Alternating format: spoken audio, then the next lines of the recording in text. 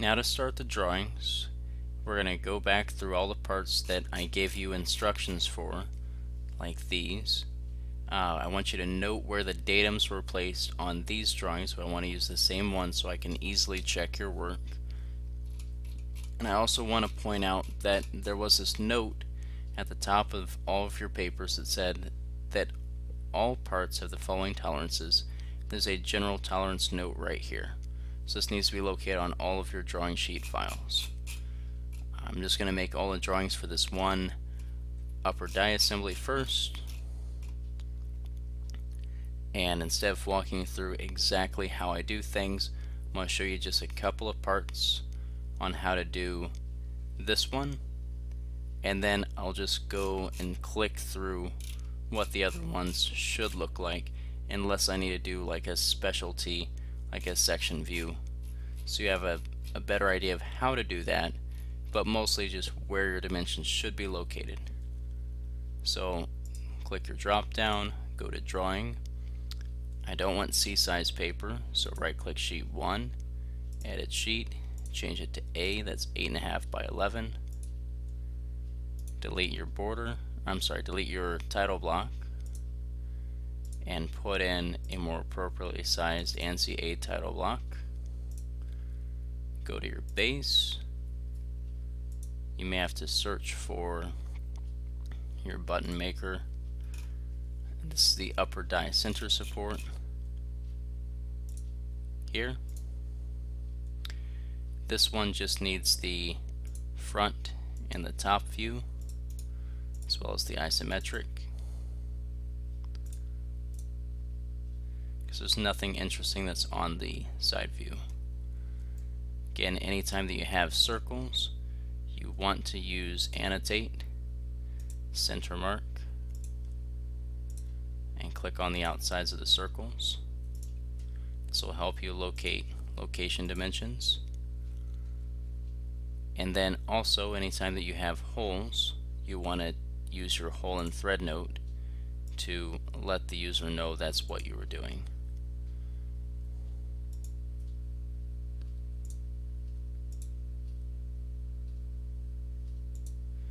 Now I had two of these are the exact same. So if I right click go to text I can change this to say uh, times 2 and continue on down to the next one.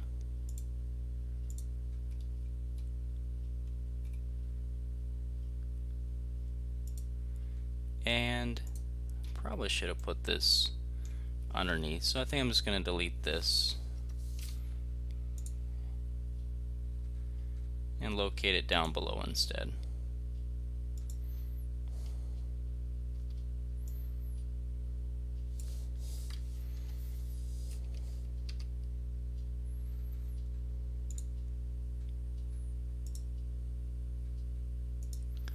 For your chamfer, one thing you could do, you have a chamfer button.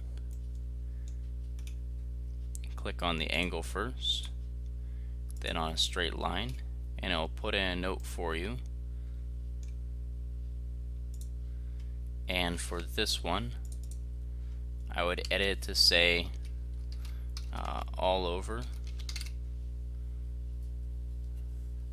or all edges. We'll keep it consistent with the example.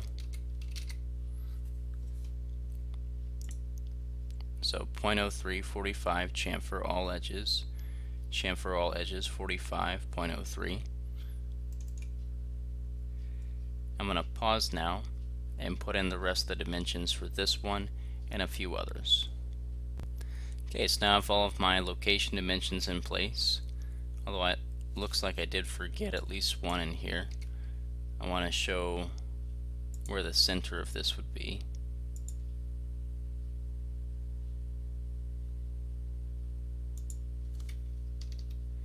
I may need to click and drag that up above. Okay, now one thing you'll note, I mentioned that yes there is a uh, general tolerance here, so I copy that come back over here and use text and this bottom empty space. I'm going to paste what that said. And to delete these bad looking plus or minuses and put in the symbol for it. Drop down for symbols is here.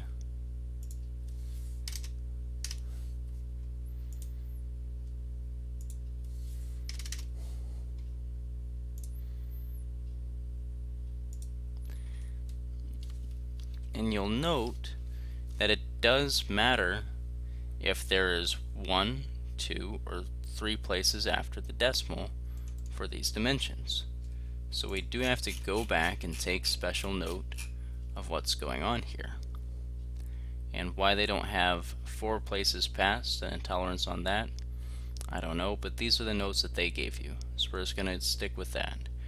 Um, I think the easiest thing to do is just going to right click on a dimension edit dimension style and change everything to four digits after.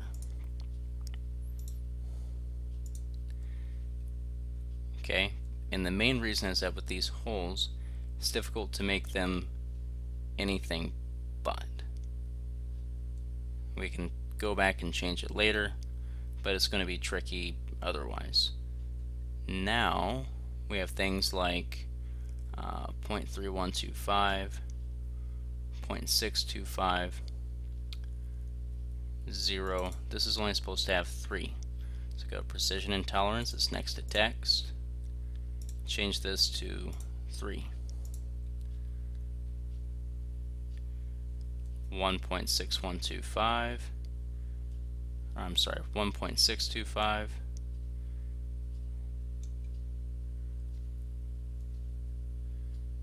that was here. This needs to be changed to 3. And we'll just go back and edit the number of places on just a couple of these. Okay, so this is what the first page should look like. Remember to click on text to put in your name.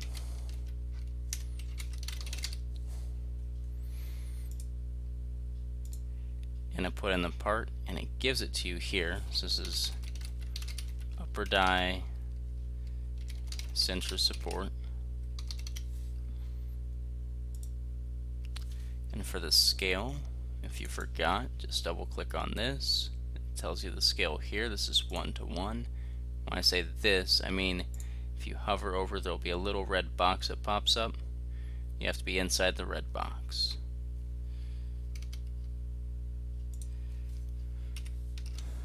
There's your one to one. And then another important thing to note is that I want all of my sheets to be on one file.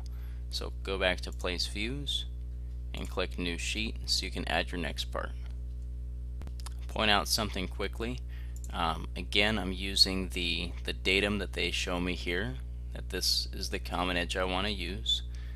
And already here's a dimension I almost left out for that gap. You should have the same number of dimensions on this page that you had on this page. And there are some things that may look like they need a dimension or you're used to going from line to line to line to line. But this is a chamfer. So on the front view, we're just going to add a note that there's a chamfer on both ends. And on the side view, we're only going to dimension this hole and this outside diameter. This little guy here is still part of that chamfer. So we do not need a dimension for that. We do, however, need a center mark. You'll notice that the hole I put in doesn't have a depth put on it. To add that, I click the drop down, depth symbol, and then here is where I get the value for the hole depth. To change the tolerance, check that. Do not use global precision, and instead we're going to use quarter 20 UNC. Depth is 1.00. Same thing here. Double click, change precision and tolerance. Do not use global precision. Click OK. Easiest way to find if you need to change the number or not If it ends in a zero or multiple zeros, you're probably doing something, or you probably have a dimension that needs modifying to change the uh, precision.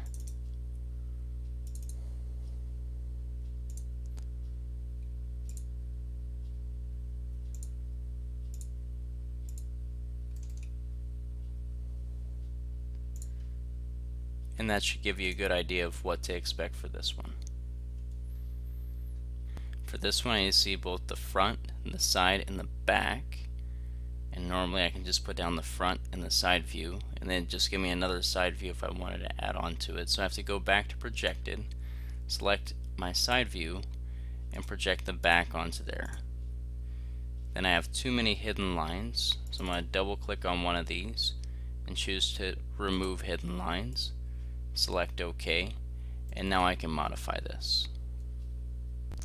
Just in case you missed how to do this in a different video, uh, if you have a circular pattern, you want to add a center line that's going through all of the points on it. Right click and create once it's made a full circle. And then you can go back to dimension and just select those two little lines to make a 120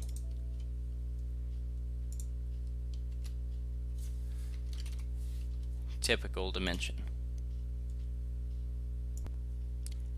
This is what your upper die pressure ring should look like. If you remember, we made this by revolving a part, so it's going to be important to see these details and how to dimension them. To show that, click on Section, click on the view you're going to make a section of, hover over the middle, click above, straight below, continue, then place your section down. Now this is going into my title block so I can click and drag this to some other location and now I can add dimensions in here. For adding angles onto these antennae you just click on this uh, center line bisector. Click on the two lines that bound it. Hit escape a couple of times. If you select the line again you can extend it all the way down to the center mark and now you can add dimensions between your two to show your 10 degree angle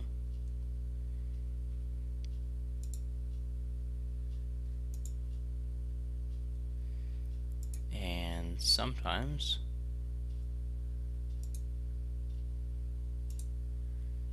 your 23 degree angle.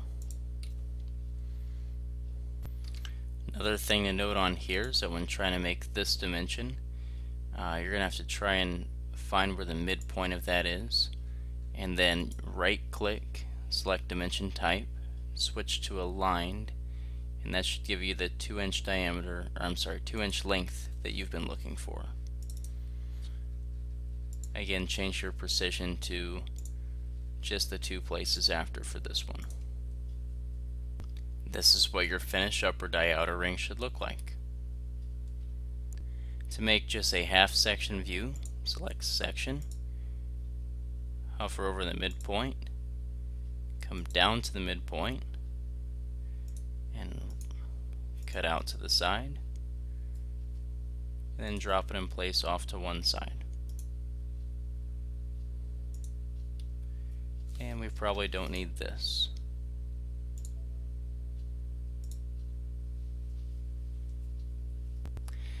This is what your upper die center drawing should look like. And one thing to note is that uh, you need to have these on all of your different drawings. So make sure you went back and added those if you didn't do that with me. And this should be it. You're done.